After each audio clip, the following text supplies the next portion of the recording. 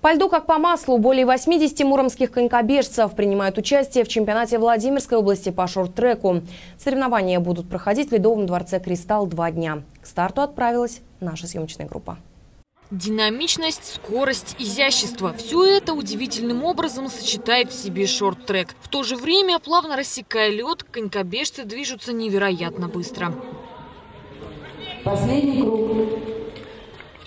Конькобежный сезон в этом году открыл чемпионат Владимирской области по шорт-треку. В нем участвуют более 80 муромских спортсменов. Среди девушек на дистанции 1000 метров самой быстрой оказалась Дарья Шмелева.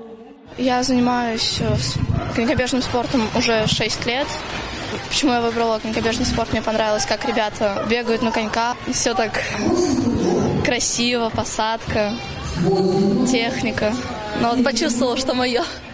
Муромский конькобежный спорт в своем развитии значительно опередил соседей. Сборная области состоит преимущественно из муромлян. Наши спортсмены уже не раз защищали честь города и региона.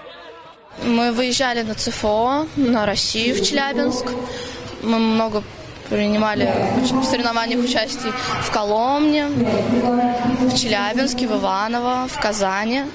Среди парней хороший результат показал Максим Нестеров. Конькобежец буквально пролетел по льду, демонстрируя чудеса аэродинамики. Ты не замечаешь всего этого. То есть это наработано на автоматизме как-то. То есть мы это все закатываем на тренировках, и поэтому не ощущается особо. Есть э, техника, то есть ее придерживаешься. Ну, без нее ты не побежишь быстро. Заключительный этап подведения итогов чемпионата состоится завтра. Анастасия Белова, Александр Барсуков. Новости Муром.